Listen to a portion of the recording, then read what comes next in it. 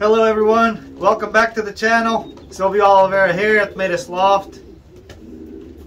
I'm inside the Young Bird Loft today.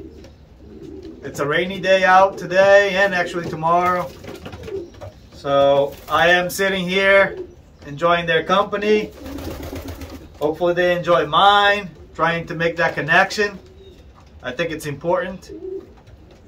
And I did get them out three times, three different days this past week. And thank God, no uh, hawk issues, guys. I'm super happy. They, um, the older ones flew for a little while. The younger ones did go from uh, my roof to the neighbor's roof and back to the loft. And so I'm, I'm very excited. Hopefully next week we can get them to begin routing. So next week the weather's supposed to be good all week, I believe. And so I will maximize their their uh, outings. And so hopefully by the following week they they can uh, be routing already and I can begin toss training. My goal is to toss train up to uh, 15, preferably 20 mile radius before the beginning of June when I lock them down for the molt.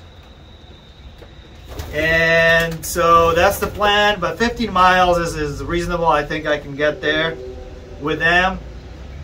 Mid-May, I will cut their uh, 9th and 10th flight. And then beginning of June, I'll pull them.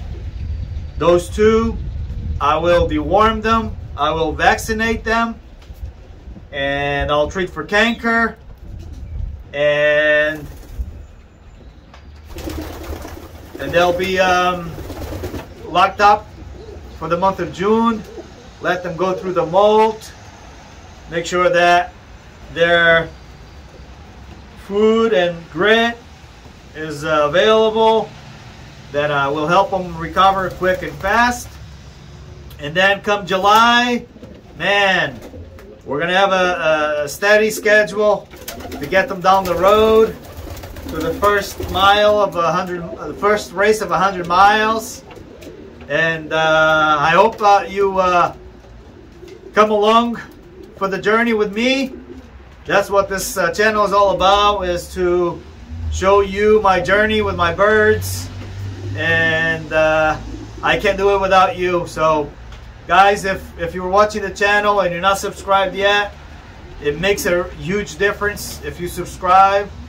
And I really appreciate it if you do. And so enjoy uh, these uh, brief clips of my birds out this past week.